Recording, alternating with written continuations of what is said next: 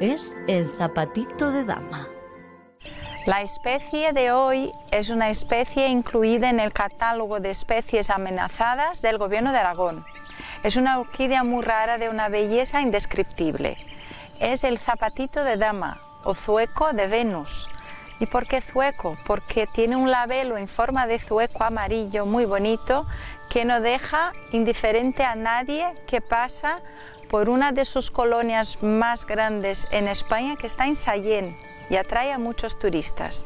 Es una especie rara porque sus semillas germinan solamente a cada cuatro años.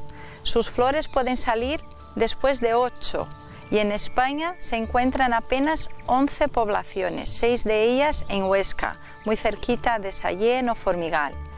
Cuenta una leyenda que esta colonia de Sayén fue descubierta por un francés volviendo desde un autobús a Francia y que la ha visto desde el autobús en la carretera y ahora es una de las colonias más visitadas por turistas. La rareza de esta especie también está en su tipo de crecimiento. Tiene que crecer una vez que germina, después de cuatro años, con hojitas para arriba, con raíces para abajo y también con sus rizomas para las laterales. Si no, no consigue crecer.